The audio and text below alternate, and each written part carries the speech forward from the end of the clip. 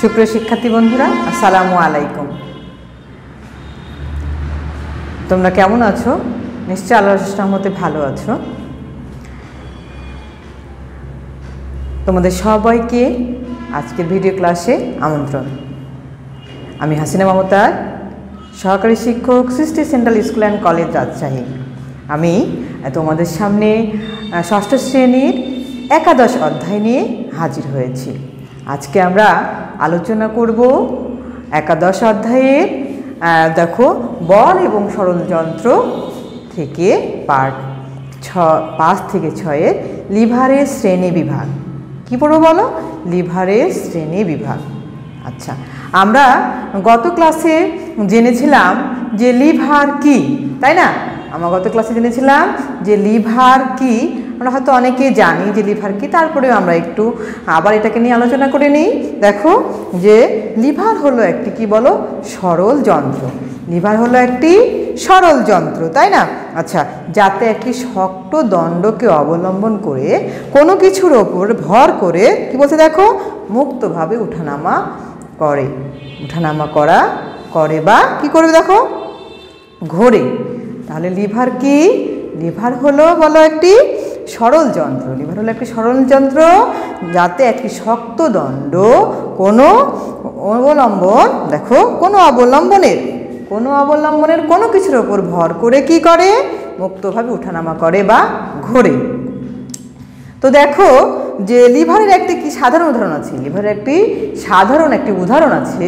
সেই উদাহরণটা আমরা সবাই হয়তো দেখেছি যে আমাদের দেখো কোনো শক্ত কোনো দণ্ডকে উঠানোর কাজে ভারী কোনো বস্তুকে কি করতে হয়? ব্যবহার করতে হয়। তা আমরা হয়তো বা এখানে দেখো এই পিকচারে দেখেছি, দেখতে পাচ্ছি যে এখানে শক্ত একটি পাথরের দণ্ড। পাথরের দণ্ডটাকে কী করা হচ্ছে দেখো? শাবল প্রয়োগ করে, শাবলের চাপ প্রয়োগ করে উঠানোর চেষ্টা করা হচ্ছে। বলছে যে যে লিভারের একটি সাধারণ উদাহরণ হলো, শাবলকে ইট শাবলকে ইট বা পাথরের ওপর ভর করে কোনো ভারী বস্তু উঠাতে সাহায্য করছে। শাবলকে ইট, কি বলছে দেখো? যে পাথরের ওপর ভর করে ভারী বস্তুকে উঠাতে সাহায্য করছে। এটা আমরা সাধারণভাবেই দেখে থাকি যে যারা শ্রমিকের কাজ করে রাস্তা নির্মাণের কাজ করে, যারা ভারী ভারী বস্তু উঠানোর কাজ করে, এদের ক্ষেত্রে দেখেছি আমরা যে, শাবলের ব্যবহারটা তারা করে থাকে। আমাদের আজকের আলোচনাতে আমরা জানব যে লিভার কত প্রকার বা লিভারকে কয় ভাগে ভাগ করা যায়? আমরা দেখো, লিভারকে প্রযুক্ত বল, ভার এবং ফালকমের ওপর ভিত্তি করে প্রযুক্ত বল ভার এবং ফালকমের ওপর নির্ভর করে, ভিত্তি করে লিভারকে কয় ভাগে ভাগ করা হয় বলো? তিন ভাগে ভাগ করা হয়। সেই তিন ভাগটা কী করব আমরা এখানে? এখন বোর্ডে আমরা লিখব। যে প্রযুক্ত বল প্রযুক্ত বল বল, তারপর দেখো কি? ভা, ভর। প্রযুক্ত বল, ভর এবং বল, ভর এবং ফাল ক্রমের ওপর ভিত্তি করে ফাল ক্রমের ওপর ভিত্তি করে ক্রমের উপর ভিত্তি করে লিভারকে তিন ভাগে ভাগ করা যায়। ভিত্তি করে লিভারকে কয় ভাগে বলো? তিন ভাগে। লিভারকে তিন ভাগে ভাগ করা যায়। করা যায়। আচ্ছা। আমরা সবাই একটু খাতা কলম বের করি এবং ছোট ছোট কিছু টুকিটাকি প্রশ্ন যেগুলো আমাদের আসতে পারে বা হতে পারে, সেই প্রশ্নগুলো আমরা সমাধান আকারে এখানে দেওয়ার চেষ্টা করছি, আমরা উঠে নিতে পারি। আচ্ছা এখানে এক নম্বর হচ্ছে প্রথম শ্রেণির লিভার। এক নম্বর কি বলো? প্রথম শ্রেণির লিভার। প্রথম শ্রেণির লিভার। প্রথম শ্রেণির লিভার। আচ্ছা। আর দেখো দ্বিতীয় নাম্বার যেটা হচ্ছে, সেটা হচ্ছে দ্বিতীয় শ্রেণির লিভার। দ্বিতীয় শ্রেণির শ্রেণির লিভার। দ্বিতীয় শ্রেণির লিভার। আচ্ছা এবার নাম্বার থ্রি দেখো। নাম্বার থ্রি হচ্ছে তৃতীয় শ্রেণির লিভার। তৃতীয় শ্রেণির লিভার।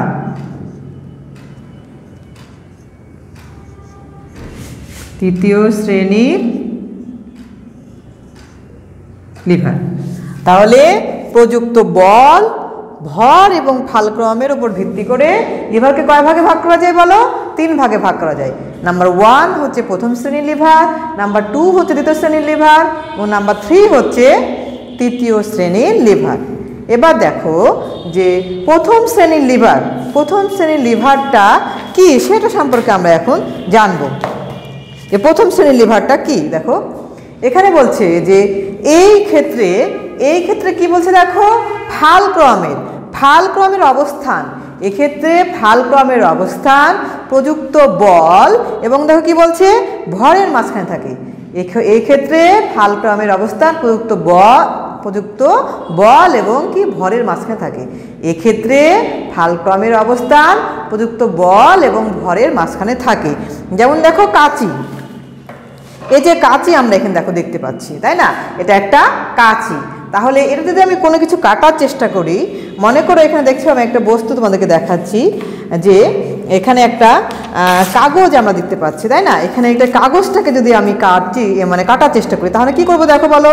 এখানে আমরা এটাকে এইখানে মাঝখানে রেখে ভর প্রয়োগ করে, মাঝখানে বল এবং ভর প্রয়োগ করে আমরা এই যে কেটে ফেললাম, তাই না? এভাবে কাটার আমরা চেষ্টা করি। তাহলে দেখো, এক্ষেত্রে কী করছে? ফালক্রম কী করছে? এর প্রযুক্ত বল এবং কি করছে? মাছ, প্রযুক্ত বল এবং ভর মাঝখানে কি করছে? চেষ্টা করছে এটা হচ্ছে ইয়ে করার। ভর ভর ভর প্রয়োগ করার। এক্ষেত্রে বলছে, এক্ষেত্রে ফালক্রমের অবস্থান। মানে এটা একটা ফালক্রম তাই না? এই ফালক্রমের অবস্থানটা কী হবে বলো? প্রযুক্ত বল এবং ভরের মাঝখানে অবস্থান করছে। এগুলো হতে পারে যেমন কাচি, হতে পারে সারাশি তারপর হতে পারে নলকূপের হাতল, তারপর দেখো হতে পারে পানি সেচের দোন, তারপর হতে পারে ঢেকি এগুলো কি করছে? এরা মাঝখান বরাবর। ঢেকিরও মাঝখান বরাবর বল এবং ভর প্রয়োগ ভর অবস্থান করছে। তারপর দেখো যেটা নলকূপের হাতল, সেটাও তাই মাঝখান বরাবর হচ্ছে বল এবং কি করছে? ভর প্রয়োগ করছে। আমি কিন্তু তোমাদের দেখলাম, দেখানোর চেষ্টা করলাম যে একটা কেচি তার একটা, এটা একটা ফালকম। এই ফালকমে দেখো, আমি এই জিনিসটা আমরা যখন মাঝখানে রাখার চেষ্টা করছি, মাঝখানে রেখে বল এবং ভর প্রয়োগ করে কাটার চেষ্টা করছি।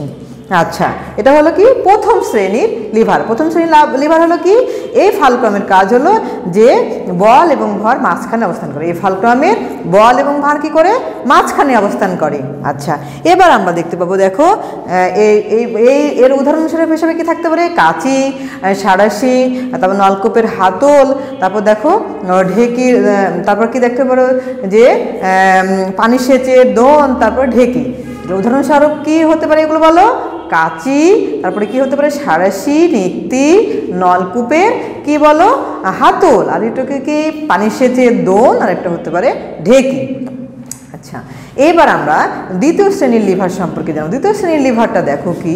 দ্বিতীয় শ্রেণির লিভারের সম্পর্কে যে আমরা আলোচনা করতে দেখছি যে এক্ষেত্রে ভারটা কি থাকে?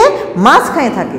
এক্ষেত্রে ভার থাকবে মাঝখানে। আর দেখো প্রযুক্ত বল ফালক্রমে দুই প্রান্তে অবস্থান করবে। প্রযুক্ত বলটা কি করবে? ফালক্রমে দুই প্রান্তে অবস্থান করবে। ভার থাকবে মাঝখানে, কিন্তু প্রযুক্ত প্রযুক্ত বলটি ফালক্রমের দুই প্রান্তে অবস্থান করবে।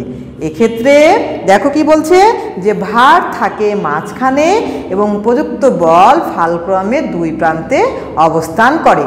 দ্বিতীয় শ্রেণির লিভারটার কি করে দেখো?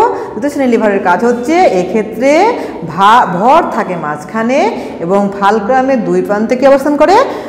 উপযুক্ত বলটা অবস্থান করে। আচ্ছা এবার এটা এটা যে উদাহরণ হিসাবে হতে পারে জাতি, তারপর তারপর হতে পারে দেখো এক চাকার ঠেলা গাড়ি তারপর দেখো হতে পারে কি? বোতল খোলা যন্ত্র। আমরা মনে হয় যখন বিভিন্ন ধরনের কোমল পানীয় খায় তার যখন ককের বোতলটা আমরা দেখেছি যে লোহার অনেকটা গোল চাকতির মতো ক্যাপের মধ্যে ঢুকিয়ে খুলে, বল প্রয়োগ করে খুলে ফেলা হয়। এটা এই কাজে ব্যবহার করা হয়। তারপর দেখো, আমরা জাতি জাতি কলেজে আগের দিনের মায়েরা দাদিরা খালারা ফুপুরা সুপরি যেটা আমরা পানের সাথে মিশিয়ে খাওয়ার চেষ্টা করি, সেই সুপরিও কিন্তু দেখো আমি এখানে দেখাচ্ছি, যেখানে সুপরি তোমাদেরকে দেখানোর চেষ্টা করছি, কিন্তু আসলে জাতির ব্যবহার খুব কম হওয়ার কারণে তোমরা এখন হয়তো জাতিতে দেখতে পাচ্ছ না, কিন্তু এই সুপরি কাটার কাজেও কি করে দেখো? জাতিকল ব্যবহার করতো আগের দিনের মায়েরা, দাদিরা ফুপুরা তাই না? তো এখনও হয়তো বা জাতি আছে, কিন্তু ব্যবহারটা ঠিক তেমনভাবে আর হয় না। তাহলে ওই জাতিটা দেখো কার উদাহরণ হিসেবে কাজ করছে? দ্বিতীয় শ্রেণির লিভারের উদাহরণ হিসেবে কাজ করছে হচ্ছে জাতি। তারপরে দেখো কি কাজ করছে? যে এক চাকার ঠেলা গাড়ি, তাই না? এক চাকার ঠেলা গাড়িও হচ্ছে কি দ্বিতীয় শ্রেণির লিভারের উদাহরণ হিসাবে বলা হয়েছে। তারপরে দেখো, আরেকটা উদাহরণ হিসাবে বলা হয়েছে, সেটা হচ্ছে যে বোতল খোলা যন্ত্র। আমরা কিন্তু নিজেরাই অনেক সময় দোকানে যখন আমরা এই কোমল পানি বিভিন্ন ধরনের ঝাঁঝালো ঝাঁঝযুক্ত যে কোমল পানিগুলো আমরা খাই, বিভিন্ন ধরনের আসি সেভেন আপ, স্প্রাইট যেগুলো খাই, সেগুলোর বোতলের কক খোলার কাজেও কিন্তু এই একটা কক খোলার যে যন্ত্র, সেটা ব্যবহার করা হয়। এটা কিন্তু দ্বিতীয় শ্রেণির লিভারের একটা উদাহরণ। এবারে আমরা চলে আসব। তৃতীয় শ্রেণির লিভার। তৃতীয় শ্রেণির লিভারটা কি? বলছে, এক্ষেত্রে প্রযুক্তি বলটা মাঝখান বরাবরই কার্যকর হয়। এক্ষেত্রে প্রযুক্তি বলটা কি হয়? মাঝখান বরাবরই কি হয়? কার্যকর হয়। এখানে তোমরা দেখতে পাচ্ছ যে একটা চিমটা তোমাদেরকে দেখানো হচ্ছে। আমরা কিন্তু এর আগে বায়োলজি বক্স অবশ্য দেখেছি। এখানে একটা বায়োলজি বক্স দেখানো হচ্ছে। এই বায়োলজি বক্সের কিন্তু এই চিমটা ফরসেপ বলো, কাঁচি বলো, এগুলোর একটা করে উপকরণের নাম আমরা সম্পূর্ণ উপকরণের মধ্যে আছে। আছে, বিকার স্লাইড আছে ওয়াজ ক্লাস আছে, অনেকগুলো উপকরণই কিন্তু এই বায়োলজি বক্সে থাকে। সেইখানকারই দেখো একটা উপকরণ ফরসেপ বা চিমটা। এই চিমটাটা দেখো কি করছে? মাঝখান বরাবর কার্যকর করছে। আমি এখন দেখো একটা বস্তু তোমাদের ফরসেপের সাহায্যে আটকে দেখানোর চেষ্টা করছি যে, দেখো, এ কিন্তু তার, আমি যত কাছাকাছি হাতের কাছাকাছি নিয়ে চেষ্টা করছি, তত সে শক্তিটা ভালোভাবে প্রয়োগ করার চেষ্টা করছি এবং এটাকে মজবুতভাবে আটকে রাখতে সাহায্য করছি। দেখো যে একটি চিমটা যখন কিছু মানে কোনো একটা বস্তুকে আটকে রাখে, তখন দেখো আঙ্গুলের মধ্যে, আঙ্গুল যত কাছাকাছি থাকবে, তখন বস্তুটি ভালোভাবে তাকে আটকে রাখতে সাহায্য করবে। আমি কিন্তু ঠিক এইভাবে চিমটা দিয়ে একটা বস্তুকে ধরে রাখার চেষ্টা করেছি এবং আঙ্গুলটা খুব কাছাকাছি রাখার চেষ্টা করেছি। দেখো, বস্তুটি সুন্দরভাবে আটকে রয়েছে। আমরা বাসায় সবাই নিজেরাই এই চিমটা দিয়ে বা কাঁচি দিয়ে বা যদি বাসায় কোনো জাতি থাকে, এটা দিয়ে বা বোতল খোলার যে যন্ত্র থাকে, এটা দিয়ে আমরা নিজেরা প্র্যাকটিস করার চেষ্টা করব যে আসলে এগুলো দিয়ে সহজে খোলা যায় কিনা বা চিমটা দিয়ে যখন বস্তুটাকে ধরবো তখন সহজে এটা ধরে রাখা যাচ্ছে কিনা এভাবে, এটা আমরা একটু বাসায় পরীক্ষা করে দেখার চেষ্টা করব। তাহলে দেখো যে, যেটা আমরা প্রথমে দেখলাম যে প্রথম শ্রেণির লিভার, এটা কিন্তু কিছু কাপড়, এই এই যেখানে একটা কেচি দেখলাম আমরা, এই কেচি দিয়ে কিন্তু শুধু কাগজ নয়, কাগজ একটা কাপড়ও আমি যখন মাছ বরাবর ধরবো, তখনও কিন্তু খুব সহজে এটা কাটা কাটা যাবে কাপড়টা। যখন আমরা এটাকে একটু সাইডে নেওয়ার চেষ্টা করব, তখন এটা দ্রুত কাটবে না, অনেক সময় লাগবে, কারণ সেখানে পুরোপুরি বল ভর প্রয়োগ করবে না।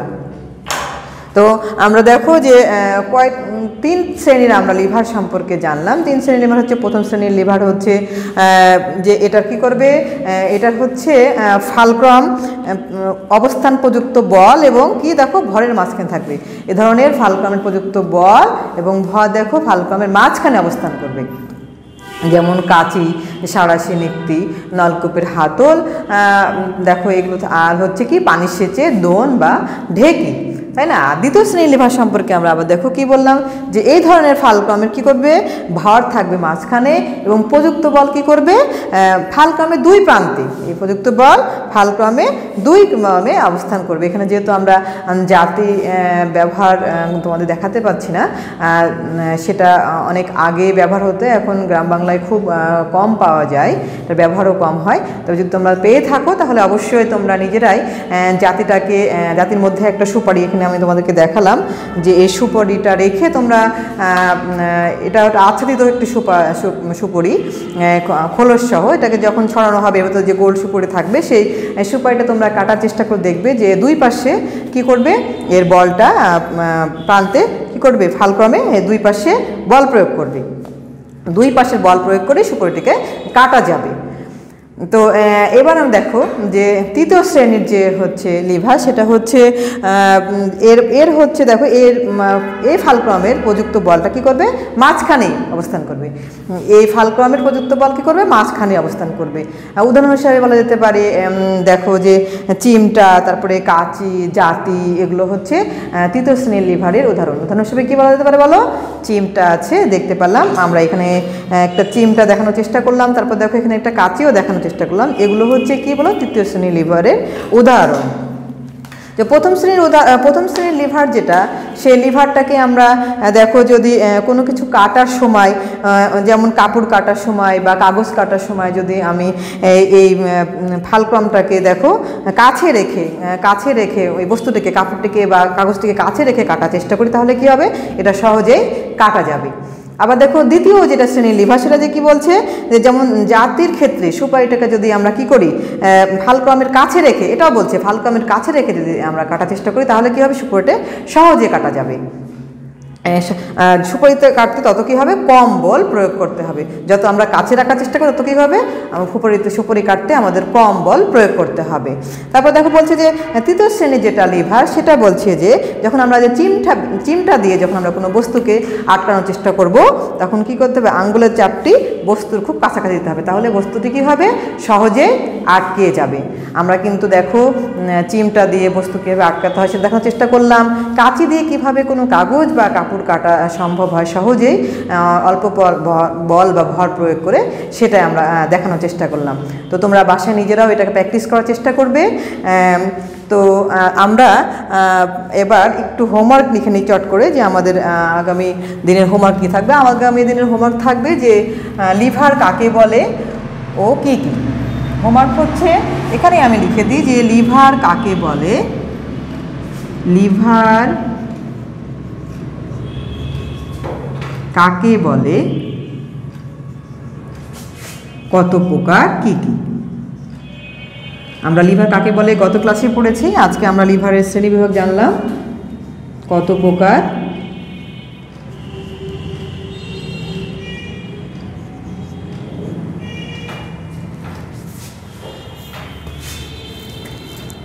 কত প্রকার ও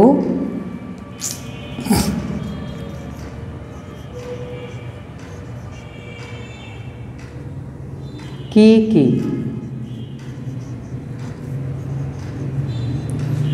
তো ঠিক আছে, শিক্ষার্থী বন্ধুরা, আমাদের ক্লাস এখানে আজকের মতো শেষ। আগামী ভিডিও ক্লাসে তোমাদের সঙ্গে আবার দেখাবে সে পর্যন্ত তোমরা সবাই সুস্থ থাকো, ভালো থাকো। খোদা হাফেজ।